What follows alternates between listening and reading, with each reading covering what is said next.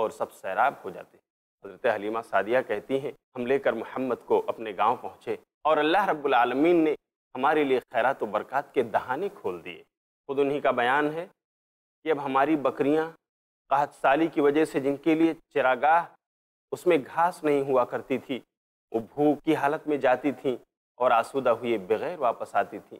उनकी थनों में दूध नहीं होता था, लेकिन अब जब मैं मक्के से वापस आई मैंने अपने चरवाहे के हवाले इन बकरियों को किया। ये चरवाहा चराने ले गया। शाम को जब बकरियाँ वापस आईं तो खूब आसूदा होकर उनकी थनों में दूध भरा हुआ था। हम काफ़ी दूध निकालते और पूरा घराना हमारा आसूदा होकर के पीता लोगों में चर्चा आम हो गया। गाँव के लोग कहने लगे कि अय चरवाहे, आखिर तू हलीमा की बकरियाँ कहाँ लेकर चराता है? किस जगह पर ले जाता है? गाँव के लोग अपने चरवाहों से कहने लगे देखो हलीमा सादिया का चरवाहा उनकी बकरियाँ जहाँ लेकर जाता है, तुम भी वहीं लेकर जाया करो। देखो, उनकी बकरियाँ पेट भर कर आती हैं, उनकी थनों में दूध होता है। तुम्हारे यहाँ कुछ नहीं।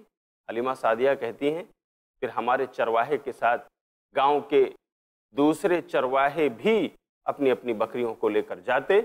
लेकिन हाल ये था कि वो तो आसूदा हुए बगैर वापस होते। उनके बकरियों की थनों में दूध नहीं होता।